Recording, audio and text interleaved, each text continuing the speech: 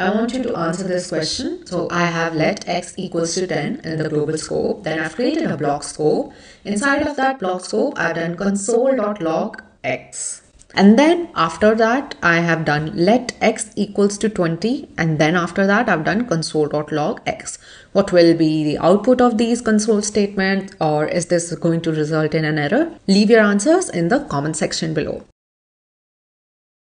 So I asked you guys this question in the last video. Before I give you the correct answer, let's talk about the top mistakes or the top wrong answers that I saw. So the first one is that this will result in an error because I've tried to create two variables with the same identifier x, but this is incorrect because I've created a new block scope here. This allows me to shadow the x variable in the outer scope. So this is perfectly fine in JavaScript. The other wrong answer was that this will print 10 and that this will print 20, but this is also incorrect because inside of this block, when JavaScript tries to resolve the identifier x, it first looks at the current scope and see if we have an x variable inside of the current scope. If it doesn't have an x variable, only then it will resolve to the x variable in its parent's scope. But due to the behavior of let and const variables that before they are actually initialized, they enter into something known as the temporal dead zone. So that's why trying to access X inside of the temporal dead zone will result in a reference error here. So this marks the beginning of our temporal dead zone and we are trying to access X inside of the temporal dead zone. That's why it will result in a reference error, cannot access X before initialization. Again, I have a question for you. What will be the output of this code? So I have console.log X then I have two nested blocks. So the first block begins where I do var x equals to 2. Then I create a nested block inside of it. Then I've created let x equals to 5. Outside of this block, I've done console.log x. And then we exit the first block. What will be the output in this case?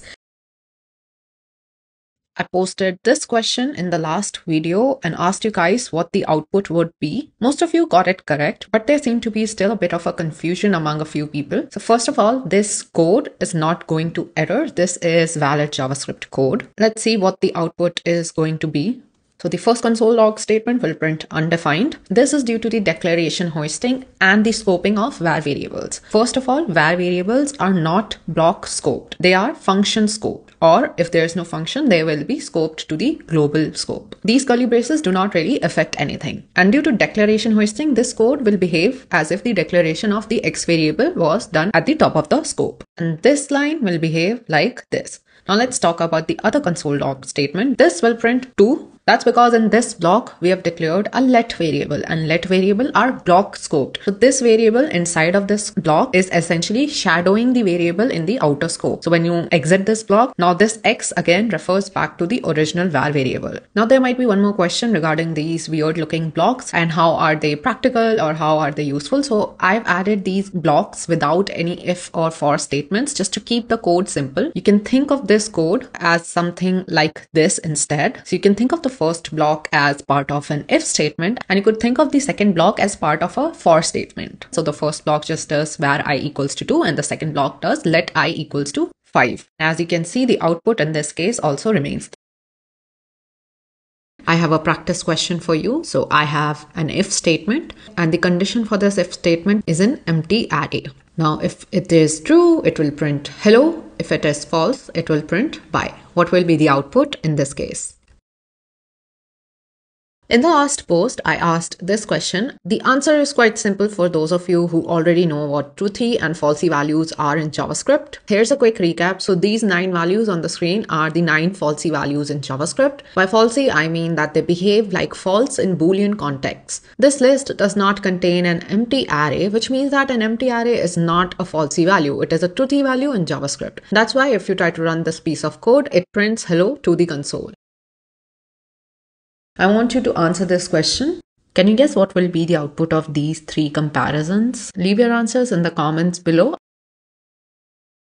In the last post, I asked you guys this question. So the first comparison is rather simple. In strict comparisons, the type is also compared. Now, since in this case, the type of one and the type of true is different, that's why this is going to print true. Second one is rather a tricky one because we are using the loose or the abstract inequality operator here. Now in this case, we're trying to compare 1 and true. So your guess would be that the output of this is going to be false because both of them are truthy values. The output is correct. However, the fact that these two values are truthy might not be the reason why because in this case the number 1 is not coerced to a boolean value so the comparison is not made between true and true instead the boolean true will be coerced to a number and true when coerced to a number returns 1 and since 1 is equals to 1 this will print false. So instead of 1 if you do 2 is not equals to false it will now print true. If in this comparison the number was being coerced to a boolean 2 would have been coerced to true and this would have resulted in a false. However in this comparison the boolean will be converted to a number instead. So when true is coerced to a number, it returns 1 and since 2 is not equals to 1, it returns true. This is definitely a tricky comparison and it's hard to remember what type will be coerced into what type. That's why it's generally recommended to just avoid the abstract equality or inequality operators altogether. The last one is a special value which is nan. In JavaScript, each nan is a unique nan. A nan is neither strictly or loosely equal to another nan. That's why when you try to do nan is not equals to nan, it results I want you to answer this question. What will be the output of this code? So I have two functions, left and right. The left function returns console.log left and the right function returns console.log right. And finally, I've executed these two functions like this, left or right. What will be the output in this case? I asked this question in the last post and most of you got it wrong. The output is not going to be just left, it's going to be left and right both. The thing that most of you missed out on was the fact that console.log returns undefined. So when you call the left function, it returns console.log left, which simply just prints left to the console and returns undefined. In the original question, when you call left or right. Since left returns undefined, which is a falsy value, now in this case, the right function will also be executed and the right function will similarly print right to the console and return undefined. If you've been enjoying my JavaScript quiz based questions so far, then I want to tell you about this free JavaScript assessment that I created. It has 40 such similar questions that I've been posting on my reels recently. So these questions are MCQ based so that you can test your own knowledge about JavaScript. You can figure out what are the gaps in your knowledge. I've also provided a free Notion template that has a JavaScript study plan so that you can use the quiz to find the gaps in your knowledge and then use the study plan to fill those gaps in. If you're interested, you can check it out using the link in my bio. Want you to answer this question. What will be the output of this code? So I've created a call to this function called greet and I've passed the argument John to this function. Then I have created another function using the function expression syntax. So var greet equals to this arrow function which accepts name and prints good day comma name. And then I've created a function definition after this and I've done function greet which again accepts the same parameter. And instead of printing good day, it now prints hello comma name. And finally, I've again done greet John. So what will be the output in this case?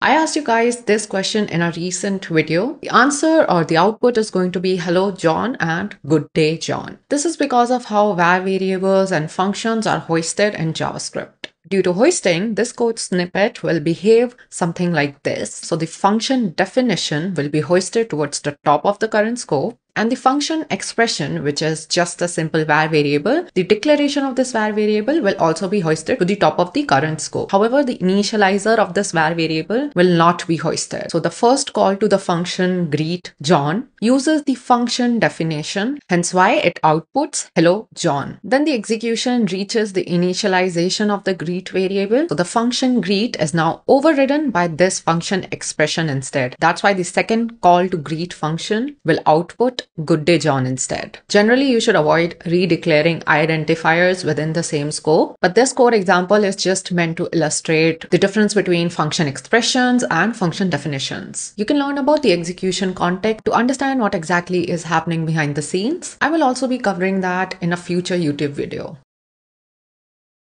I have a practice question for you. I have a function called manipulate array that accepts one parameter. So it accepts an array as a parameter, then it does array.push5, then it reassigns array this new array value, and then it returns this array. Now outside of this function, I've created a list with four elements, one, two, three, four, and then I've called this manipulate array function with the list, and then I've printed the value of list. Then I have used the return value of this manipulate array to reassign a value to list and then I've again printed the value of list. So what will be the output of these two console statements?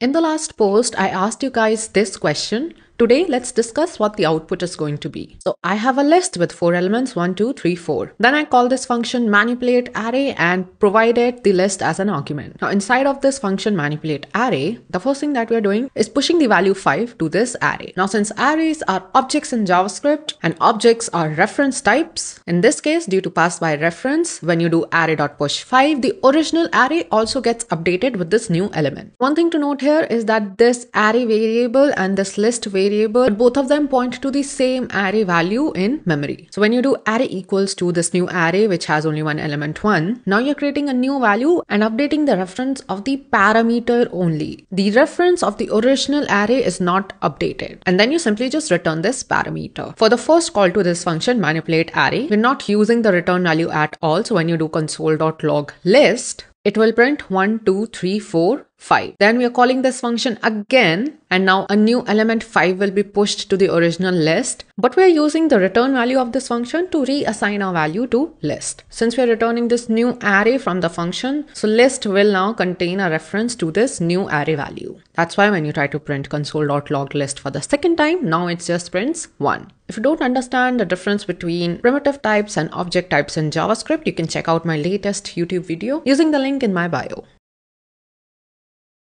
Can you guess what will be the output of this JavaScript code? So today's code example is a little bit more tricky. Let me walk you through it. I have an object called user1 with two properties, username and followers. Then I've created another object called user2 and I've used user1 to initialize user2. Then I've updated the followers property on user2 and set it to user1.followers plus plus. Can you guess what will be the value of user1.followers and user2.followers?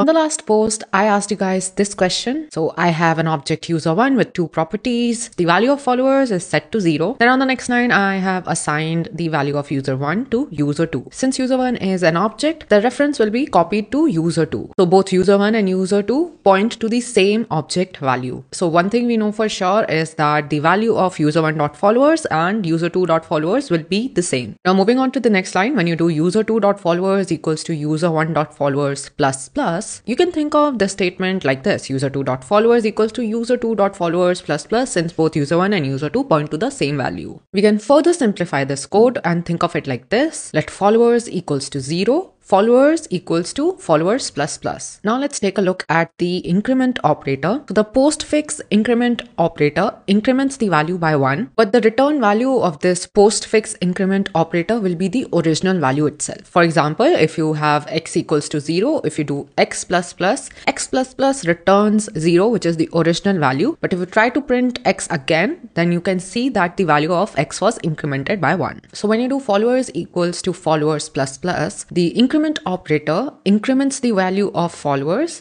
but it returns the original or the old value, which is zero in this case. So even though followers is incremented, it is immediately overwritten by the original value of followers, which was zero. That's why the output of this code is going to be zero and zero. Can you tell me what will be the output of this JavaScript code? I have a variable x equals to new number and I've provided the string 1 to it then I have let y equals to number and again I've provided it the string 1. What will be the type of x and the type of y? In the last post, I asked you guys this question. Today, let's discuss the answer. So when you call the constructor function, which is when you use the keyword new, so if you do new number and pass it the string 1, it will convert the string into a number, which will be 1 in this case, and it will return a wrapper object. That's why if you try to print the type of x, it prints object. However, when you call number as a normal function, it simply just converts the type of its argument into a number. It returns the primitive value 1 in this case, and when you try to check the type of y, it prints number. Let's see if you could answer this question. I have a constant called greeting and I have initialized it with the value hello. If I set the value of greetings length property to 10, what will be the value of greeting.length and greeting?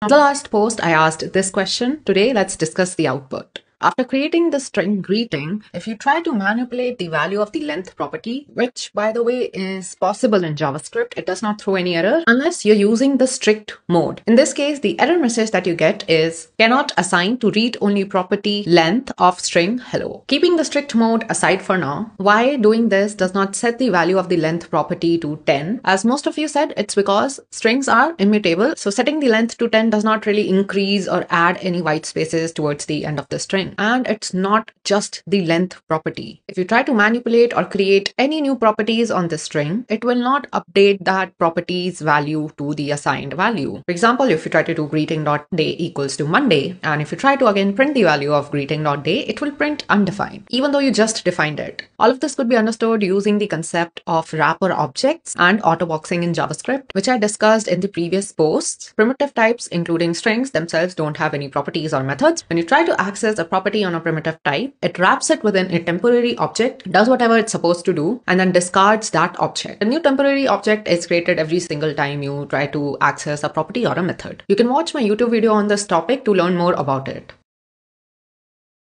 This is today's JavaScript question. What will be the output of this code? I have a function called counter Inside of counter, I have created a variable called count and I've initialized it with the value 0. From this function, I'm returning an arrow function and this arrow function returns count plus plus. After this, I've called the counter function and I have assigned the return value of this counter function to the variable c. Then I've called the function c three times and printed its result. What is going to be the output of these three console statements? Look closely at the return value of this arrow function which is count plus plus. This is a postfix increment operator. You can find the answer to this in the next video.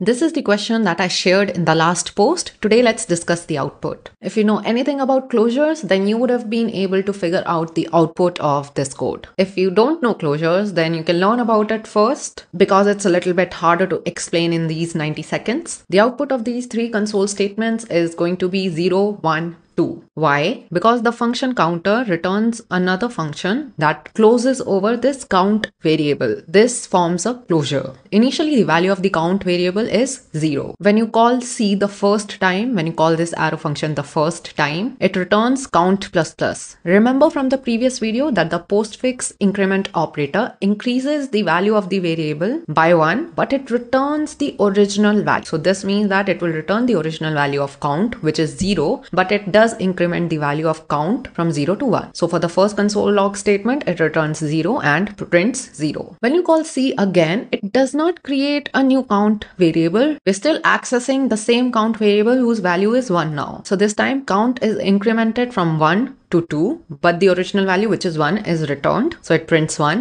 and similarly for the last call to this c function it returns 2 and increments the value of count to 3